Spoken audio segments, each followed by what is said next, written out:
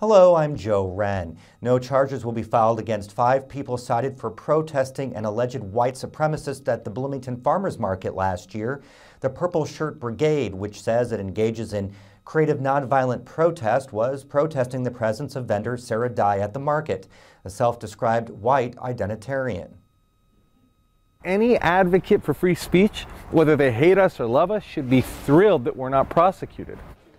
In a statement, Monroe County Prosecutor Erika Oliphant says her office evaluated specific facts and circumstances around the citations and decided not to prosecute.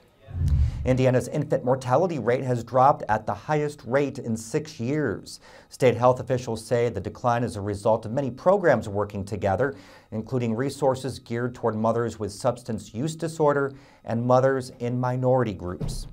Well, another piece of Bloomington's trades district is being developed to grow business ventures. A group of local companies is planning on renovating and expanding the historic kiln building north of the mill. I'm looking forward to that trades district growing. It's, it is focused on being a center of employment, uh, jobs downtown, and it's exciting to see that happen. The kiln is a 100-year-old building originally part of the Showers Brothers Furniture Company complex. The Kiln Collective is buying the building for $50,000 from the city, but it'll need a lot of work. Affordable housing duplex B-Line Heights opened last August, and construction of a 360-car parking garage in the park started in December.